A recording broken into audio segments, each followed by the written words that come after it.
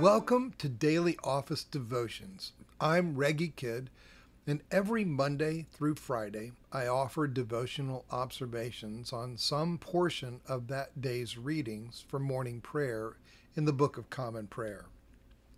I'm so very glad to be with you this Tuesday following the fifth Sunday after Pentecost.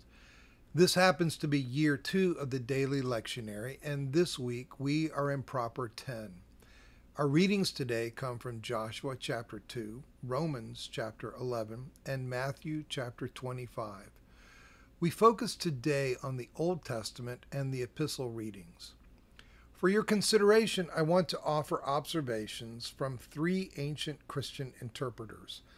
I realize that in some quarters of the church and the academy, these early voices don't count for much, but in recent years, I've come to sense that the first generations of interpreters of Scripture are more attuned to the Bible's own dense symbolic bandwidth.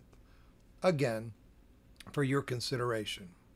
First, from Clement of Rome, who, toward the end of the first century AD, offers the first post New Testament interpretation of the significance of Rahab. Combining perspectives from James chapter 2 verse 25 and Hebrews chapter 11 verse 31, Clement says, "Because of her faith and hospitality, Rahab the harlot was saved." 1 Clement 12:1.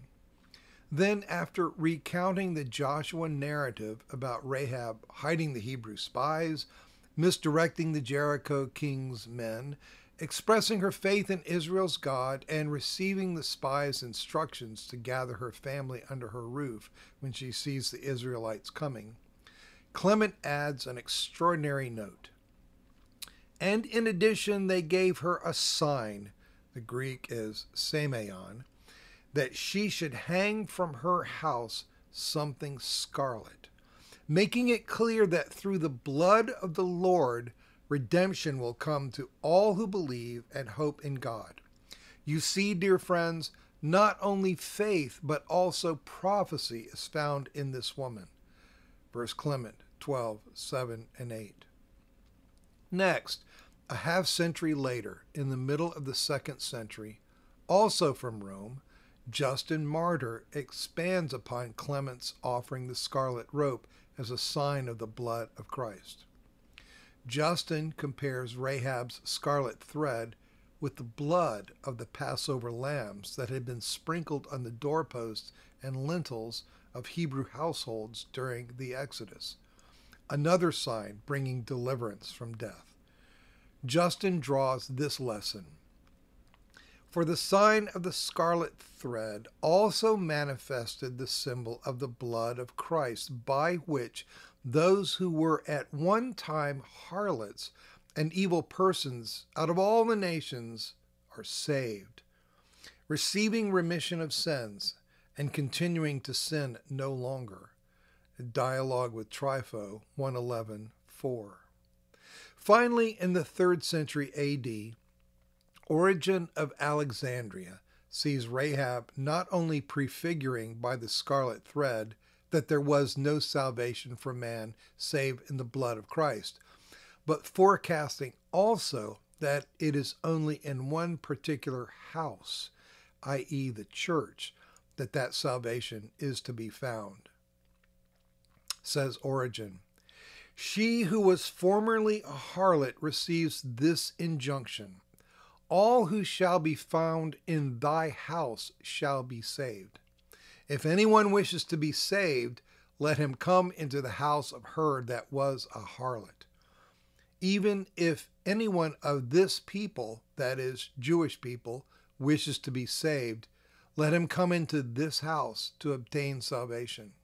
Let him come into this house in which the blood of Christ is the sign of redemption. Let there be no mistake. Let no one deceive himself. Outside this house, that is, outside the church, there is no salvation. Origen's third homily, 841c through 842a. This is the first time, as far as I know, that a phrase that is to become a hallmark of the early church appears.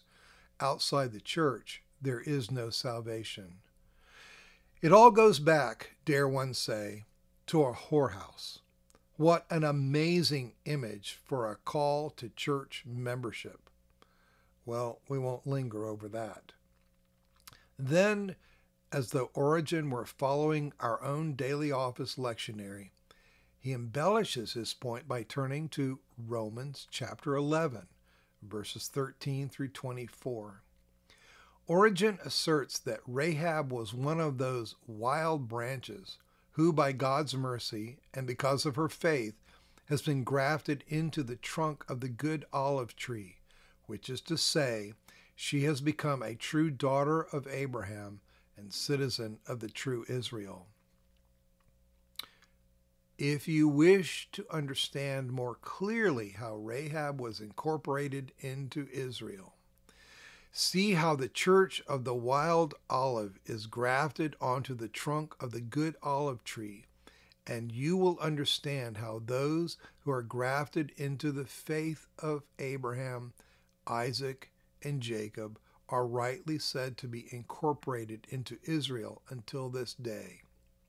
We, Origen is himself a Gentile, we branches of the wild olive tree, who were prostitutes, adoring wood and stone instead of the true God, we have been truly incorporated into this root until this day.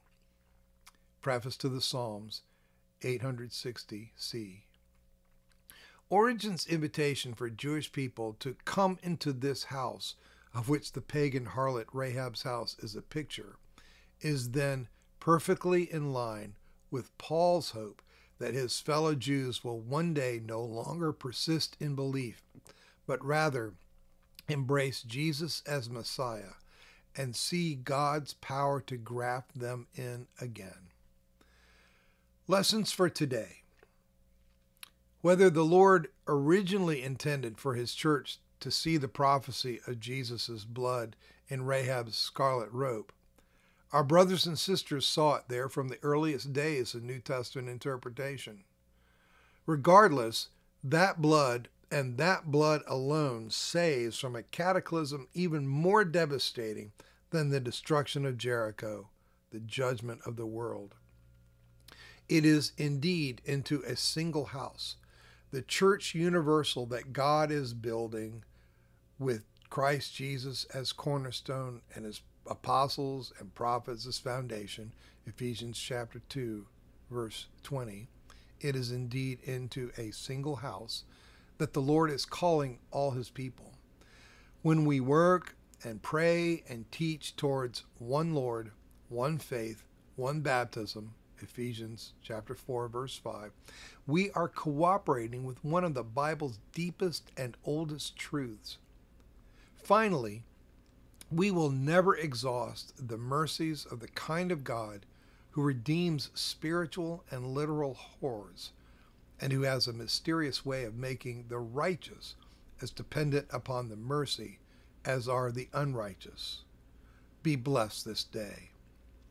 By the way, if you want to follow up on the early church's interpretation of the Bible, I found these two books to be tremendously helpful, even inspirational. Jean Danielou's From Shadows to Reality, Studies in the Biblical Typology of the Fathers, and Hans Boersma's Scripture as Real Presence, Sacramental Exegesis in the Early Church. Once again, be blessed this day.